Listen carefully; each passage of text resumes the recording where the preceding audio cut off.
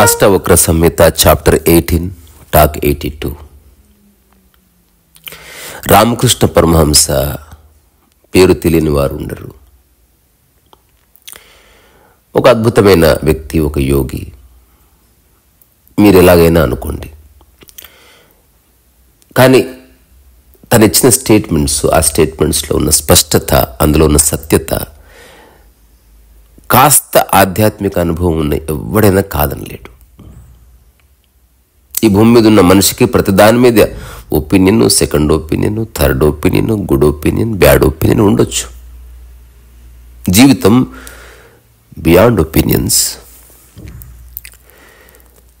so Ramakrishna Paramahansa అన్న ఒక ఒక మాట ఈరోజు అష్టవక్కుడు చెప్తున్న సూత్రాల యొక్క సారం సిమిలర్ రామకృష్ణ పరమహంస అంటాడు పడవ నీటిలో ఉండవచ్చు కానీ నీరు పడవలో ఉండరాదు. అట్లాగే సంసారంలో మనిషి ఉండవచ్చు కానీ మనిషి మనసులో సంసారం ఉండరాదు. ఇంత క్లియర్గా ఉంది విషయం. సో సంసారాన్ని వదిలిపెట్టి పోనక్కర్లే. ఎట్లాగైతే బంగారం మట్టిలో దాచినప్పటికీ దానికి తుప్పు పట్టదో. ఎట్లాగైతే వెన్న నీటిలో వేసినప్పటికీ వెన్న నీటిలో కరగదో. ఎంతసేపు తామరాకు మీద నీరు వేసినా అది తామరాకు అంటుకోదో. ఎలాగైతే రంగు తీసి ఆకాశానికి పూస్తే ఆకాశానికి ఏ రంగు అంటుకోదో. అట్లా జీవితాన్ని అర్థం చేసుకున్న ఆ మనస్సుకి ఏది అంటుకోదు తద్వారా అతను అందరి మధ్యనే ఉండొచ్చు అన్ని పనులు చేయొచ్చు. ఒక్క విషయం చాలా ముఖ్యం. ఆ ఒక్క మాట చెప్పుకొని అష్టవక్ర సంహితలోకి వెళదాం. అదేమిటి? దేనికి నువ్వు పరమ విశిష్టతనివ్వకు? అట్లాగే నువ్వు విశిష్టమైన వ్యక్తివని అనుకోకు. అద్భుతం అసలు. ఈ చిన్న విషయం సమస్యలన్నీ దీంతో వస్తున్నాయని మీకు తెలుసా? సో దేనికి నువ్వు అధిక ప్రాధాన్యత ఇవ్వకు. అట్లాగే నీకు నువ్వు అధిక ప్రాధాన్యత ఇచ్చుకోకు. విక్షిప్తత కారణం ఇది బాధ కారణం ఇది నీ ఏడుపు కారణం ఇది నువ్వు మొహం మార్చుకోవడానికి కారణం ఇది నీ ఉద్వేగానికి నీ పతనానికి నీ ఉన్నతానికి రకరకాల విషయాలకి ఇదే కారణం. కానీ మనిషి ఒక సినిమా రివ్యూ ఏంటి తెలుసుకుందామని ఎంత అటెంటివ్గా టైం ఇస్తాడో దాంట్లో వన్ పర్సెంట్ కూడా. జీవితం అంటే ఏమిటి? మనసు అంటే ఏమిటి? ఆలోచన స్వరూపం ఏమిటి? నేను ఎందుకు ఏడుస్తున్నాను? పదే పదే ఎందుకు నవ్వుతున్నాను? సుఖం ఏమిటి? దుఃఖం ఏమిటి? వీటన్నిటి నుంచి బయటపడే మార్గం లేదు.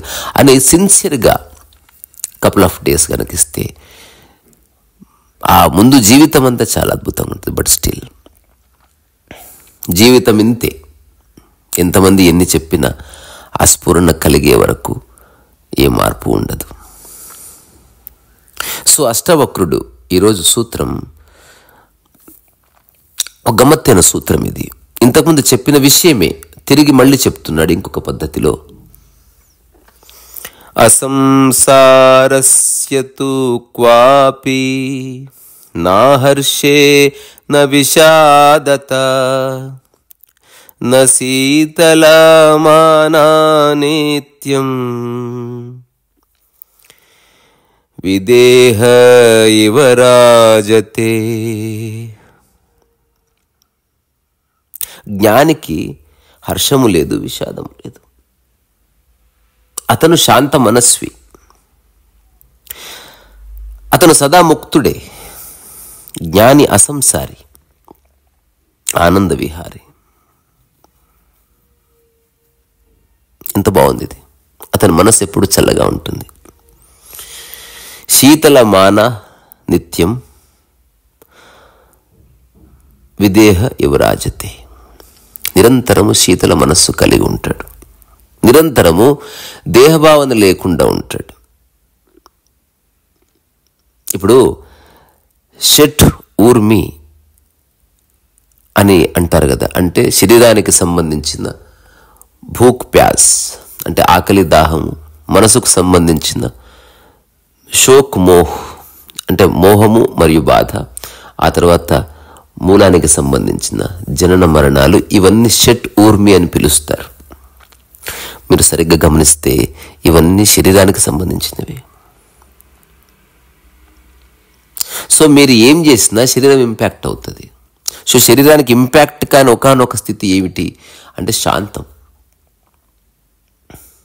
ఎవరైనా శాంతంగా ఉన్నారనుకో he is beyond body mind అని అర్థం. నిద్రలో ఒక మనిషి శాంత స్వభావంగా ఉన్నాడు. అతను పరిపూర్ణ సుఖాన్ని అనుభవిస్తున్నాడు. సుఖం అంటే మళ్ళీ సుఖ దుఃఖాలకు సంబంధించిన సుఖము కాదు. ఈ సుఖ దుఃఖాలకు అతీతమైన ఇంకొక పదం సుఖం. అంటే ఏమి పట్టనట్టున్న ఒక స్థితిలో శరీరానికి ఏ సంబంధం ఉండదు. సో శరీరం అవసరానికి ఉపయోగపడుతుంది కానీ రకరకాల విషయాలకి పాపం మనసు వల్ల ఇంపాక్ట్ కూడా అవుతుంది. సో జ్ఞాని ఎట్లాంటి వాడు? అని అష్టవక్రుడు పదే పదే చెప్తున్నాడంటే అసంసారస్య. ఈ అసంసారం అనే దాన్ని రెండు రకాలుగా అర్థం చేసుకోవచ్చు. అసలు సంసారమే లేదు అని చెప్పే సిద్ధాంతం ఒకటి సంసారం ఉంది కానీ నాలో సంసారం లేదు అని చెప్పే విషయం ఒకటి. సో రెండవది కరెక్ట్. సో మూర్ఖుడు మూఢుడు తెలివిలేనివాడు బుద్ధి లేనివాడు మాత్రమే సంసారం లేదు అని చెప్తాడు. కానీ తెలియనివాడు ఉన్నదాన్ని ఉన్నట్టుగా గుర్తిస్తాడు. Yes there is a problem కానీ దాని యొక్క ఇంపాక్ట్ నాలో లేదని చెప్తాడు. సో ఇప్పుడు రామకృష్ణ పరమహంస చెప్పింది అదే. నీరు ఉంది పడవ ఉంది. కానీ ఆ నీటిని పడవలోకి రానియకుండా చూసుకో. అట్లాగే నీ చుట్టూ సంసారం ఉంది. సంసారం అంటే ఏమిటి? నీ చుట్టుపక్కలున్న చెట్లు చేమలు ఆ తర్వాత సూర్యుడు చంద్రుడు పిట్టలు ఇదంతా సంసారంలో భాగమే. ఇప్పుడు సంసారంలో ప్రపంచము నువ్వు జోడించుకోవచ్చు. మనిషి మనిషి తయారు చేసిన వస్తువులు బిల్డింగ్లు ఆ తర్వాత బ్రిడ్జ్లు ఫ్లైఓవర్లు షాపింగ్ మాల్ ఇవంతా ఇదంతా కలిపి సంసారం. అదంతా నీ మనసులో ఉందా? సంసారం అంటే ఉన్నదానికి నువ్వు ఏదైనా సంబంధం జోడించినప్పుడు నీలో సంసారం ఎస్టాబ్లిష్ అవుతుంది. అటువంటి సంసారం ఉండక్కర్లే. అటువంటి వాడు అసంసారి. అసంసారస్యత్తు క్వాపి. అంటే ఎవరికైతే సంసారము లేదు నా హర్షే నా విషాదతే. అతనికి హర్షము లేదు విషాదము లేదు. సో నేను చాలాసార్లు చెప్పాను మళ్ళీ ఈ విషయం చెప్తా. అష్టావక్ర సంహిత యొక్క సారం అర్థం చేసుకోవాలంటే మూడే స్థితులు మూడే మూడు సంపూర్ణ స్థితులు. ఒకటి నిద్రలో నీవు అనుభవిస్తున్న స్థితి అష్టావక్ర సంహిత స్థితి ఒకటే అట్లాగే సంపూర్ణ సమాధిలో. నువ్వు అనుభవించే స్థితి అదే అట్లాగే మరణము కూడా అదే. ఇప్పుడు మరణంలో హర్షము లేదు విషాదము లేదు. ఇలాగో మరణించి ఉన్నాడు కాబట్టి హర్షం లేదు విషాదం నిద్రలో హర్షము లేదు విషాదము లేదు. ఎందుకు? అంటే నిద్రించేవాడు ఆలోచించేవాడు అక్కడి నుంచి వెళ్ళిపోయాడు. సో ఈ రెండు స్థితులు ఎలాగూ అందరు అనుభవిస్తున్నవే మరణం అనుభవించలేదనుకుందాం. కానీ మెలకువలో ఇది ఈ స్థితి అనుభవించడానికి మనిషి చేసే చిన్న ప్రయత్నమే ఆధ్యాత్మిక సాధన. అంతకుమించి ఏమి లేదు. ఇలా చేస్తే వస్తుంది అనుకుని సన్యాసం ఈ పద్ధతి పాటిస్తే వస్తుంది అనుకున్నప్పుడు ఓ గురువు దగ్గరికి వెళ్ళడం ఆష్టం ఇదంతా అల్టిమేట్గా you you just want to be peaceful అంటే అన్ఎఫెక్టెడ్గా ఉండాలనేది నీ ప్రయత్నం అంతా కూడా. కానీ మనిషి మైండ్ ఏమో ఊరుకురకే ఇంపాక్ట్ అయ్యే మనస్సు.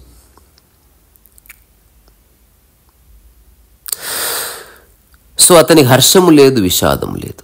ఎందుకు అంటే అతనిలో సంసారం లేదు. మరి సంసారం అంటే ఏమిటి? ఇంతకుముందే చెప్పుకున్నట్టుగా రెండిటి మధ్యన నువ్వు జోడించే అనవసర సంబంధం. అనవసర సంబంధం జోడిస్తున్నావు. దాంతో పాటుగా ప్రపంచంలో ఉన్న మనుషులకి ఇప్పుడు ఉదాహరణకి ప్రకృతిలో మనిషే లేడు నువ్వు ఒక్కడే ఉన్నావు అనుకో. అక్కడ పేరు ప్రఖ్యాతులు ఉంటాయా? ఉండవు కదా. భూమిని సొంతం చేసుకోవడం ఉంది. కానీ దానివల్ల గర్వం గిర్వం ఏమీ ఉండదు. సాటి మనిషి నీ జీవితంలోకి వచ్చినప్పుడు నిజమైన సంసార బంధం స్టార్ట్ అవుతుంది. దాని జటిలత వేరే. సో అందుకని నేను చెప్పేదాన్ని కాస్త శ్రద్ధగా వినండి. ఎవరికైతే మహత్వాకాంక్ష ఉంటుందో వాడు సంసారంలో ఇరుక్కుపోతాడు. ఎవడైతే పరువు ప్రతిష్ట అంటే సంసారంలో ఇరుక్కుపోతాడు. ఎవడైతే తన గుర్తింపు నాకు గుర్తింపు కావాలి అంటాడో సంసారంలో ఇరుక్కుపోతాడు. ఎవడైతే నావి నావి నావి అని వెంపల్లాడతాడో సంసారంలో ఇరుక్కుపోతాడు. సో సంసారం తనలో లేదు. అసలు లేదు కాదు తనలో లేదు. నాకుందా భూమి ఉంది నా కారు ఉందా ఉంది కానీ ఆ భూమి పట్ల కారు పట్ల తాదాత్మ్యత లేదు అవసరం కోసం ఉన్నాయని గుర్తించి చిన్న ప్రజ్ఞ ఉదయించింది ఇంతే సో శాంతం అంటే హర్షము విషాదము రెండు అంటుకొని ఒక మనోదశ. చాలామంది గమనించాల్సిన విషయం దుఃఖంలో శరీరం కాస్త ఇంపాక్ట్ అవుతుంది. సుఖంలోనూ ఇంపాక్ట్ అవుతుంది. అందుకే ఆధ్యాత్మికత సంబంధించిన అన్ని శాస్త్రాల్లో ఇన్ పర్టికులర్ సనాతన మన మోనోథెయిస్టిక్ రిలీజియన్స్ అవి ఆధ్యాత్మికతకు సంబంధించిన విషయాలు కాదు అవి అది స్వర్గ నరకాలకు సంబంధించింది పనిష్మెంట్ అండ్ రివార్డ్కి సంబంధించింది.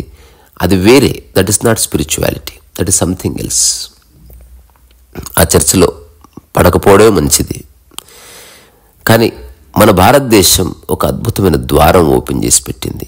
If you are ready if you have potential then you could be unaffected ఏం జరిగినా అన్ని చూస్తూ అన్నిటి మధ్యనే ఉంటూ దాని యొక్క ప్రభావం నీ మీద లేని ఒకనొక మనోదశను అనుభవించవచ్చు అది ప్రాక్టికల్గా నేను చెప్తున్నాను అలాంటి స్థితి ఉంది. అట్లా అనుభవించిన వాళ్ళు నాకు తెలుసు. సో సుఖ దుఃఖాలు అంటే ద్వంద్వము వద్దని చెప్పారు. సుఖ దుఃఖాలు రెండు సారం కోల్పోయినవాడు. దాంట్లో సారం లేదని తెలుసుకున్నవాడు జ్ఞానంలోకి అడుగు పెడతాడు. గెలుపు ఓటమి ఈ రెండు పనికిరాని విషయాలను తెలుసుకున్నవాడు జ్ఞానంలోకి అడుగు పెడతాడు. పని చేయడంలో ఆనందం ఉంది కానీ నేను చేస్తున్నానన్న భావన దాన్ని గండి కొడుతుందని తెలుసుకున్నవాడు కర్మను చేస్తూ కర్తను వదిలేసిన వాడు జ్ఞాన జ్ఞానంలోకి అడుగు పెడతాడు. ఇది జ్ఞానం అంటే. ఈ ఆశ్రమాల్లో నేను జ్ఞానంలోకి వచ్చాను అని సోకాళ్ళు కుమారులు చెప్తున్నారు. ఇది అది జ్ఞానంలో అబద్ధం ఊరికే చెప్తున్నారు అట్లా. వాళ్ళు జ్ఞానంలోకి రా సిద్ధాంతంలోకి వస్తు వస్తున్నారు. అసలు వేరే వాడి మీద ఆధారపడి నేను జ్ఞానంలో ఉంటుందా అనుకోవడం ఎంత స్టూపిడిటీ అది స్కూల్ కాదు కదా. కర్త లేకుండా పని అయిపోయిందంతే. దీనికి పుస్తకాలు ఎందుకు? ఇది బట్టి బట్టే విషయం కాదు. నిరంతరం తలుచుకునే విషయము కాదు. అవగాహనతో చూసి అక్కడి నుంచి నువ్వు ఆచరించి అట్లా చరి కృతా కృతకృత్యుడయ్యేటువంటి అప్రయత్న కృతకృత్యత ఆధ్యాత్మికత. సో చల్లని మనస్సు అంటే గెలుపోటములు అడ్డుకొనిది అని. సో ఎవరి అంతరంగం అఖండంగా ఉంటుందో వాడు చిన్నపిల్లవాడు వాడు జ్ఞాని. సో ఈ దేహం యొక్క మనసు యొక్క రకరకాల గుణధర్మాలు వాటి ఫ్లక్చువేషన్స్ నుంచి బయటపడి ఒక సహజ స్థిరత్వంలోకి. రా. సరే నువ్వే అడ్డుపడుతున్నావని తెలుసుకో. సో అష్టవక్రుడు ఇంకొక సూత్రంలో ఇలా చెప్తాడు. కుత్రాపిన జీహాసాస్మి ఆశావాపిన కూత్రచిత్ ఆత్మా రామస్య ధీరస్య శీతలాచ్చత అరాత్మన ఇది కూడా ఇంతకుముందు ఈ సూత్రంలో రెండిట్లో శీతల మనస్సు గురించి చెప్తున్నాడు చల్లని మనస్సు కలవాడు. సో కుత్రాపి న జిహా సా అస్మి ఆశావాపి న కుత్రచిత్. సో ఆత్మారాముడు అతి శీతల చిత్తుడు అతి నిర్మల మనస్సుడు. అతనికి త్యాగేచ్ఛ లేదు అట్లాగే సంగ్రహణ ఇచ్చ లేదు. అతను సహజ సుఖంలో రమిస్తూ ఉంటాడు నిర్మల చిత్తుడు కడు చల్లనివాడు. ఏది స్వీకరించాలన్న కోరిక లేదు త్యాగం చేయాలని లేదు ఇష్టము లేదు అనిష్టము లేదు అర్థము లేదు అనర్థం లేదు. చూడండి ఇది సేమ్ నిద్రలో ఉన్న నీకు వర్తిస్తాయి. ఒక శరీ ఒక శవానికి వర్తిస్తాయి. కానీ మెలకువలో ఇది అనుభవించడానికి నువ్వు చేసే చిన్న ప్రయత్నమే ఆధ్యాత్మిక సాధన. ఇది అష్టవక్ర సంహిత అయిపోయేలోపు వేల సార్లు చెప్తాను. అష్టవక్ర సంహిత నేను రాసే పుస్తకంలో మొదటి పేజీలో నేను రాయాలనుకున్న వ్యాఖ్యకి ఇదే పునాది ఇదే ఆరంభం. అష్టావక్ర సంహిత. ఆల్రెడీ నువ్వు అనుభవిస్తున్నావు నిద్రలో. ప్రతి సూత్రము నువ్వు నిద్రాస్థితికి మ్యాచ్ అవుతుంది. ఇది ఊరికే చెప్పట్లే. దాన్ని గమనించి అక్కడి నుంచే చెప్తున్నాను. సో మనకి ఈ చిన్న శ్లోకం తెలుసు కదా ఓం పూర్ణమిదం పూర్ణమదం పూర్ణాత్ పూర్ణమదచ్చతే పూర్ణస్య పూర్ణమాదాయ పూర్ణమేవ. దాని అర్థం ఏమిటి? ఒకటి పోవడం వల్ల పరిపూర్ణ స్థితి పోదు. ఒకటి రావడం వల్ల పరిపూర్ణ స్థితిలో ఎలాంటి మార్పు లేదు. వచ్చినా పోయినా పూర్ణం పూర్ణమే. సో పూర్ణంలోంచి ఏదైనా తీసేసినా అది పూర్ణమే మిగులుతుంది. పూర్ణానికి ఏదన్నా కలిపినా అది పూర్ణమే మిగులుతుంది. సో నిరంతరం నీ యొక్క స్థితి పరిపూర్ణ స్థితి అని తెలుసుకునే ఒకానొక స్థితి ఉన్నది. ఎవరన్నా ఏదైనా ఇచ్చారు అధిక ఆనందం లేదు. నీ నుంచి ఏదో ఎవరో తీసుకెళ్ళారు. అస్సలు బాధ లేదు. నువ్వు ఏది వచ్చినా ఏది పోయినా వెంటనే పూర్ణ స్థితిని అనుభవిస్తున్నావు.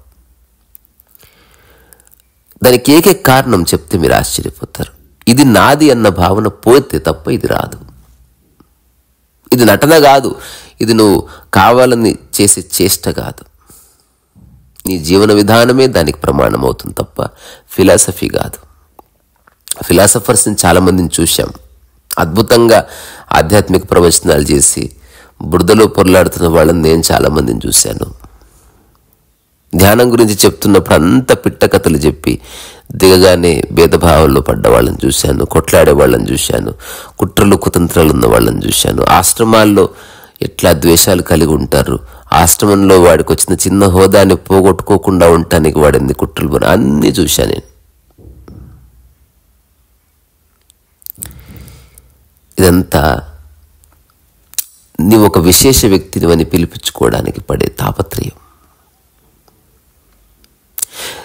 నువ్వు కౌన్గస్గా గొట్టం రవ్వై నువ్వు. ఇక్కడ ఎవడు నువ్వు అసలు? యు ఆర్ నోబడి అంటే కోపం వస్తుంది. నేను చెప్తున్నా ఐఎమ్ నోబడి నేను కౌన్కిస్గా గొట్టంగాండి నాకే విలువ లేదు నాకు మీరు విలువ ఇచ్చినా నాకే విలువ అంటుకోదు. ఈ స్థితి బాగుంది. నగ్నత్వం లాగా. నువ్వు బట్టలు వేసుకున్నా నువ్వు నెక్కడిగానే ఉన్నావు. నగ్నత్వం నుంచి నువ్వు ఏది తీసేయలేవు. ఒక ఇంటిక బీకినా నువ్వు నెక్కడిగానే ఉన్నావు. నువ్వు ఎగిరినా నెక్కడిగానే ఉన్నావు దుంకినా నెక్కడిగానే ఉన్నావు. నేను అక్కడ నిలబడి మాట్లాడుతున్నా. అందుకే ఈ ప్రపంచంతో నేను సంబంధం పెట్టుకోవట్లే. ఎదగాలన్న ఆలోచన వచ్చిందా? దానికి అంతమే లేదు. దుకాణాలు పెట్టాలన్న ఆలోచన వచ్చి ఎన్ని పెడతావు? ఇంకా ఆపేసి చాలు నువ్వు. మూర్ఖత్వం పిచ్చి. నువ్వు ఉన్నావు అది సరిపోదా? మళ్ళీ నీకు ఇంకోటి ఆలంబన కావాలి ఇంకేదో క్రియేట్ చేయాలి. నీవు ఉన్న చోట ఏదో చేయగలిగితే చేయి నేను హైదరాబాద్లోనే అతిపెద్ద అవుట్లెట్ అతిపెద్ద ఆశ్రమం అని చెప్పారు. నేను భూమి ఎంత ఉంది తెలుసా? దాంట్లో ఇది ఎంత ఉంది జస్ట్ ఒక ఎకరం ఉంటే పెద్దది అయిపోతుందా పోనీ ఎందుకు అట్లా స్పెషల్గా చెప్తున్నారు? ఎందుకు దాని ఫీచర్స్ స్పెషల్గా చెప్తున్నారు? To attract people isn't it see నేను దాంట్లో లేను. నాకు ఇలాంటివి ఆసక్తి లేదు. ఊరికే వచ్చాను నన్ను. జస్ట్ నాకు ఏమీ చెప్పకండి మీరు. ఇంత చేసిన తర్వాత మళ్ళీ మీరు చెప్పడం ఏమిటి? సో లెట్ మీ పర్సీవ్ నాకు కూడా స్టూపిడ్ బ్రెయిన్ ఉంది. లెట్ మీ పర్సీవ్ అట్లా నేను జనాలను తప్పించుకొని నా ఏకాంతంలో నేనుంటా. సో ఒక్క మాట మాత్రం మీకు చెప్పాలనుకుంటున్నా. ద్వంద్వం నుంచి బయటపడవలసిందే. సుఖ దుఃఖం నుంచి బయటపడాలి. ఇష్ట ఇష్టాలు అంటే ఛాయిస్ నుంచి బయటపడాలి. గెలుపు ఓటమి ప్రాపంచిక విషయాల నుంచి బయటపడాలి. నువ్వు నేను ఈ భేదం నుంచి బయటపడాలి. బయటపడాలంటే నువ్వు నేను లేవని కాదు. అది నిరంతరం ఉండకూడదు. రుగ్మత అది. తర్వాత నువ్వు విశిష్టమైన వ్యక్తివి అనుకోవడమే నీ బాధ కారణం. సో నువ్వు విశిష్టమైన వ్యక్తివి అని అనుకోకు. విశిష్టత కోసం పాకులాడకు. నీ విశిష్టత నువ్వు దర్శించు కానీ అది వేరే వారి ద్వారా వస్తుందని మాత్రం అనుకోకు. ప్రపంచంలో గుర్తింపు బయట నుంచి వస్తుంది. ఆధ్యాత్మికలో గుర్తింపు స్వీయ దర్శనం. ప్రపంచం ప్రదర్శనం. ఆధ్యాత్మికత స్వదర్శనం. సో ఈ షోయింగ్ ఆఫ్ బిజినెస్ నుంచి మైండ్ బయటపడాలి ద్వంద్వం నుంచి బయటపడాలి ఫైన్. సో వేరే వారి ద్వారా నీకు ప్రతిష్ట వస్తుందంటేనే బానిసత్వం అని. చాలాసార్లు అవార్డు ఇస్తారు తిరిగి అవార్డు తీసేసుకుంటారు. రీసెంట్గా ఆ జానీ మాస్టర్ ఎవరో ఎవరో చెప్పారు నాకు. అతనికి ఏదో అవార్డు ఇచ్చారు రీసెంట్గా ఏదో కేసు అయింది అవార్డు నీకు తీసేసుకున్నారు. నాకు తెలిసిన ఒక మిత్రుడు ఉన్నాడు. తనే అఫ్జల్గంజ్కి వెళ్ళి తనే అవార్డులు ఆ షీల్డ్ కొనుక్కొచ్చుకుని తనకి తనే రకరకాల సంస్థల పేర్లు పెట్టి తనే ఇంట్లో పెట్టుకుంటాడు.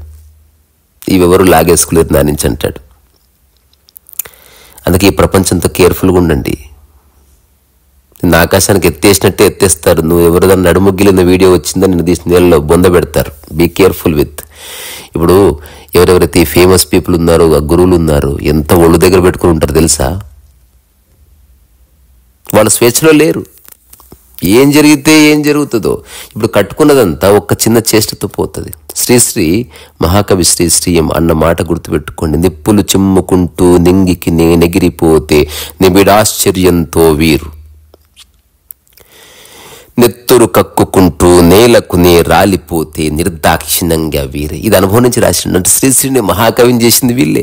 శ్రీశ్రీని వేస్ట్ ఫెయిల్ అన్నది సమాజమే. ఎన్నికలు నిలబడ్డప్పుడు? నువ్వు ఎవడు రాబాయి అంటారు అంతే. ఇప్పుడు చిరంజీవి లాంటి వాడు పాలిటిక్స్లోకి ఎంటర్ అయితే మెగాస్టార్ చోడది ఆ సబ్. ఏయ్! సో ఇప్పుడు నువ్వు ఒక్కసారి చౌరస్తాకు వచ్చి నిలబడ్డ తర్వాత నువ్వు ఎవరన్నా ఒక మాట అన్నావు అనుకో మేము అంటాం బై.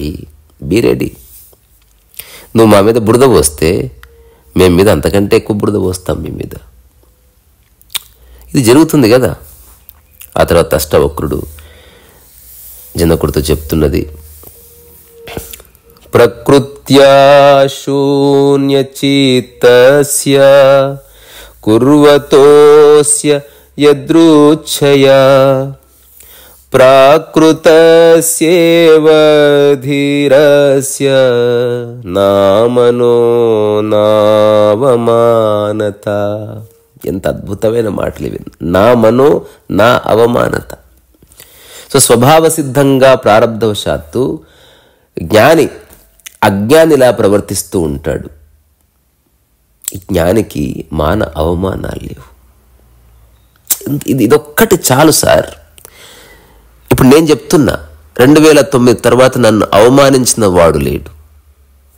దీన్ని సరిగ్గా చెప్పకపోతే తప్పుగా అర్థం వస్తుంది నన్ను ఎవ్వరు ఏమనలేదు కాదు. ఎవ్రీడే ఎంతమంది అయినా నన్ను అవమానించవచ్చు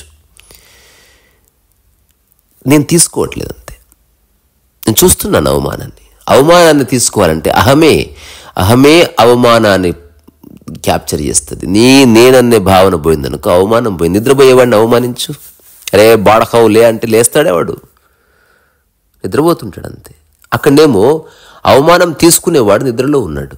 అతను లేడు ఎటో పోయాడు బైక్ వేసుకొని మరణించేవాడిని అవమానించలేవు. సేమ్ అష్టవక్ర సంహిత అద్భుతం అసలు అల్టిమేట్ అండర్స్టాండింగ్ కబీర్ అన్న ఈ మాట విన్నార? సాధు సహజ్ సమాధి బలి. గురు పరతాప్ జా దిన్ సే జాగి దిన్ దిన్ అధిక్ చెలి. చాలా అద్భుతమైన వాక్యం ఇది. అంటే అత్యంత సహజంగా శూన్య చిత్రుడవిగా సాధన వల్ల కాదు. ఎక్కువ సాధన చేసావనుకో నీ శూన్యం నిఖార్సయింది అయి ఉండదు. నువ్వు తెలుసుకోబోయి ఒక్క మాట ఇప్పుడు నేను చెప్పింది మీరు రాసుకోండి. ఏ సాధన అక్కర్లేదమ్మా నేను అనామకుణ్ణి నేను ఒక ఉన్కిస్కా కొట్టంగాడిని నా నేను చిన్న చిన్న తప్పులు చేస్తాను కానీ వాటిని గంభీరంగా తీసుకుని. కోపం వస్తే సెకండ్లో మర్చిపోతాను. ఎవరన్నా నా మీద కోపడవచ్చు నేను దాన్ని తీసుకుని చిన్న చిన్నవి రాసుకో మీద. నీవు నీకు అధిక ప్రాధాన్యత ఇచ్చుకోవడం వల్ల దానికి ఇప్పుడు ఒక రాయికి నువ్వు ఓవర్ ఇంపార్టెన్స్ ఇచ్చావు అనుకో ఒక బంగారు ఉంగరానికి అధిక ప్రాధాన్యత ఇచ్చావు. దానివల్ల బాధ వస్తుంది కదా. అర్థం అవుతుందా లేదా? నాకు చాలాసార్లు డౌట్ వస్తుంది. మేబీ లిజనింగ్ సరిగ్గా చేయడం లేదేమో. అంటే ఎవరు నాతో వచ్చినప్పుడు అనిపిస్తే చిన్న విషయం. నువ్వు అధిక ప్రాధాన్యత ఇచ్చావు కాబట్టి బాధ కలుగుతుంది. ఇది అర్థమైందా కాలేదా? అధిక ప్రాధాన్యత ఇవ్వడం ఇప్పుడు నేనున్న అధిక ప్రాధాన్యత ఇవ్వడం లేదు. నా వైలిన్కి ఇవ్వడం లేదు. అలాగే నా శరీరానికి దేని ప్రాధాన్యత దానికి ఉంది? అంతవరకే. సో ఎక్కడి నుంచి దుఃఖం వస్తుందో చూడు.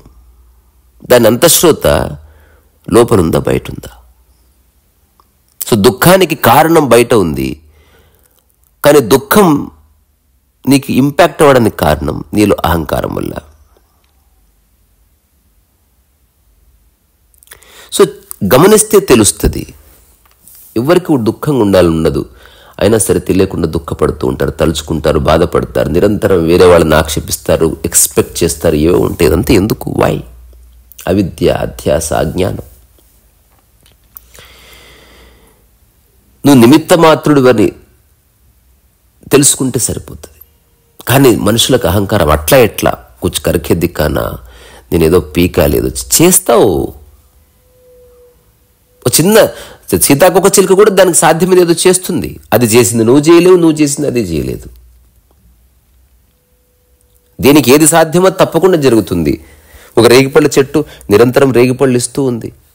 ఒక బంతిపూల చెట్టు బంతిపూలు ఇస్తుంది ఏ ఊర్లో ఉన్నా ఏ నేలలో ఉన్నా తనకు ఏది సాధ్యమో చేస్తూ అట్లా చేయడం దాన్నే సహజం అన్నారు సాధో సహజ సమాధి బలి అంటే ఏది నీకు సహజమో దాన్ని పట్టుకో.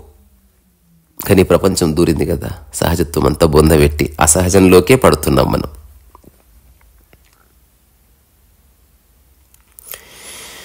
ఇప్పుడు నేను ఒక చిన్న విషయం చెప్తా. అసలు మనం ఆ శూన్య సహజ చిత్తంలోకి రాకపోవడానికి కారణం ఏంటో తెలుసా? ఏదో సాధించాలన్న తాపత్రయం మనలో బయలుదేరింది. సో ఏదో సాధించాలని నువ్వు చేసేది ఏది ధ్యానము కాదు. ఏదో సాధించాలని నువ్వు చేస్తున్నావా? జూడు బలరాయ్ నువ్వు ధ్యానం చేయట్లే సంథింగ్ ఎల్స్ చేస్తున్నావు ఇంకా లోపలికి వెళితే గుర్తింపు కోసము చేస్తున్నావు.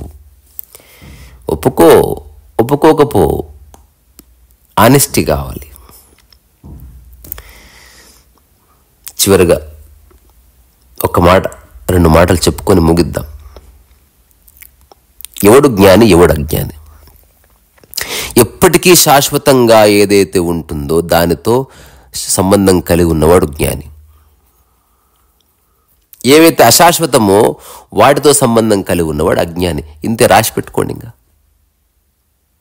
ఇది నేను పుస్తకాల్లో చదివి చెప్పింది కాదు. నేను నా అనుభవంతో చెప్తున్నా. నేను శాశ్వతమైన విషయాలతో సంబంధం పెట్టుకున్నా. అశాశ్వతమైన వాటిని అవసరం కోసం వాడుకుంటున్నా. ఇంతే. తర్వాత ఏం చేస్తున్నా దాని పట్ల మమకారం లేకుండా జస్ట్ నిష్కామకర్మ చేయి. సో ఈ సూత్రం పరమాద్భుతమైంది. అంటే ఏం చేసినా సరే ఎవరు నీతో ఏమన్నా సరే అవమానాన్ని తీసుగా భరించకు నిన్న ఎవరో ఒక అమ్మ ఫోన్ చేసింది ఏడుస్తుంది నా కొడుకు నా వల్లే చచ్చిపోయాడన్న బాధ. అంటే ఎవ- నీ వల్ల నీ వల్ల అంటే మీరేమన్నా కారుతో గుద్ది చంపేశారని అడిగాను. అలాంటిది ఏమి లేదు. అప్పుడు మీ వల్ల అవుతుంది అది. అప్పుడు మీరు కారు రెండు ఉన్నారు మీ వల్ల ఒక్కరి కారు కూడా భాగస్వామి అయింది సి ఒక వ్యక్తి అవగాహన లోపం వల్ల మరణించాడు అదే అవగాహన లోపంతో మీరు ఏడుస్తున్నారు. నేను రెండు మాటలు చెప్పిన తర్వాత అన్నా ఈ భూమి మీద ఉన్న అందరిని వదిలేసి ఒక్క వ్యక్తి గురించి ఆలోచించడం ఎంతవరకు కరెక్ట్ చెప్పు. నా తోటలో ఒక్క మొక్క నేను పెంచుకున్నాను ఆ ఒక్క మొక్క ఎవరో పీక్కుపోయారు. ఏడుస్తూ కూర్చుంటావా? ఆ మొక్కని ఇంకో మొక్కతో రిప్లేస్ చెయ్యి. నేనంటే గౌరవం ఉందా అంటే ఉంది అన్నది నన్ను నీ కొడుకు అనుకో ఒక్క సెకండ్లో ఏడుపు ఆపేసింది. ఎంత సంబరపడ్డదో. నిజంగా అనుకోనా? జీవితకాలానికి అనుకో. ఇది జోక్ చేయట్లే. నా వల్ల నీకు ఉపయోగం లేదు నీ వల్ల నాకే ఉపయోగం లేదు. ఇది తెలుసుకొని నేను అడుగు చెప్తున్నాను. నువ్వు కూడా తెలుసుకో. మొట్టమొదటిసారి ఇంతవరకు నీ కొడుకులతో ఎలా ప్రవర్తించవు అలా ప్రవర్తించకుండా ఉండు. ఏది ఒత్తిడి చేయకు. నీ యొక్క సిద్ధాంతాలు రుద్దకు కొడుకుల మీద బలవంతం చేయకు. జస్ట్ ప్రేమని పంచు. నీకు ఎప్పుడు ఫోన్ చేయాలనిపించిందా టెన్ సెకండ్స్ నుంచి ముప్పై సెకండ్లు. నా గొంతు విను. నీ గొంతు నేను వింటా. ఆ తర్వాత ఒక వారం పని చేసుకో. లైఫ్ ఈజ్ బ్యూటిఫుల్ స్టూపిడ్ థింగ్స్తో దాన్ని నింపకు house is beautiful because we don't feel with stupid things meaningless things దేవాలయం ఎందుకంత పరమ పవిత్రమైందో తెలుసా? దాంట్లో మనం చెత్తతో నింపడం లేదు సార్. సో మనసు ఒక దేవాలయం అంటే చెత్త దిశ అంతే. శూన్య చిత్తుడవి కా సహజముగా. నిర్మల మనస్కుడివిగా సహజముగా. నిశ్చల మానసుడివిగా సహజముగా. సింపుల్. నీలో ద్వైతం పోతే అది వస్తుంది. నీకు నువ్వు అధిక ప్రాధాన్యత ఇచ్చుకోని క్షణం అది కాంతి నీలోకి మెల్లగా ప్రవర్తిస్తుంది ప్రవేశిస్తుంది. అట్లాంటి క్షణాలు అందరికీ ఈ క్షణమే అందుబాటులో ఉన్నాయి. దానికి మనమే మనమే డోర్ వేస్తున్నాం సూర్యకాంతి రాకుండా. ఇదేం ప్రవచనం కాదు సలహా కాదు. హాయిగా ఉండొచ్చు అని చెప్తున్నాను అంతే. అయినా ఎవరి జీవితం వారిది? ఎవరి జీవితాన్ని ఎలా మలుచుకోవాలనుకుంటే అందులో అలా మలుచుకోవచ్చు. నాకు ఏ స్టేక్ లేదు. నేను ఎవ్రీడే చెప్పింది మర్చిపోతున్నాను నేను నా జీవితంలో పడుతున్నాను. నాకు ఏది సాధ్యమో అది చేస్తున్నాను. ఏది సహజమో అది చేస్తున్నాను. ఏది సాధ్యం కాదు అది వదిలేస్తున్నాను అంతే. ఏ బాధ లేదు గిల్ట్ లేదు ఏమీ లేదు. సో ఇక్కడి నుంచే మీలో ఉన్న ఆ సహజ స్థితికి ఆ సహజ ప్రశాంతతకి మీలో ఉన్న అనామకతకి ఇక్కడి నుంచి శిరస్సు ఉంచి నమస్కారం చేస్తున్నా. ఓ అనామకుడు రీసరస్సు వయసు